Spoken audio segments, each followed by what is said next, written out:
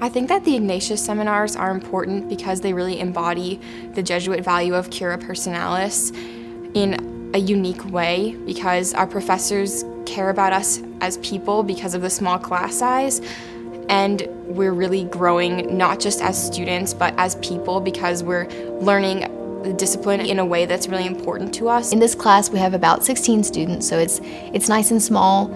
Um, everyone knows each other. It feels really more like a family than it does a class.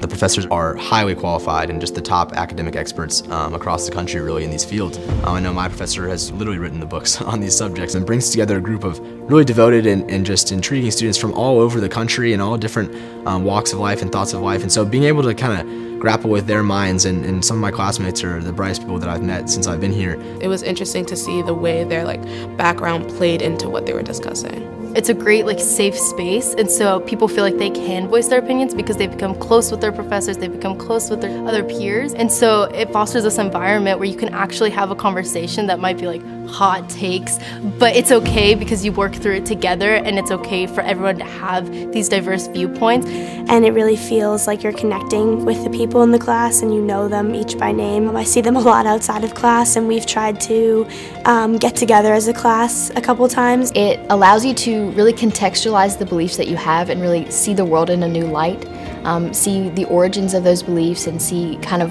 where society and why society has developed into the way that it is. It's made me question things more. I don't just take things as face value now. Like I really question like where someone gets this idea from. What was their thinking process behind it? This class has allowed me to be myself in a context I haven't been myself in yet.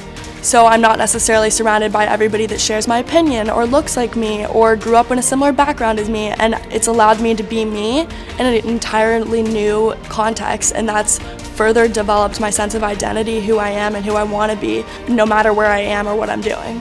I'd say the most important thing I've gained from taking this class is just the ability to tackle big problems. I think it just contributes to that Jesuit identity that we have and, and the deep contemplative thought um, that comes from these big questions. How do we see the world and, and how are we going to shape it?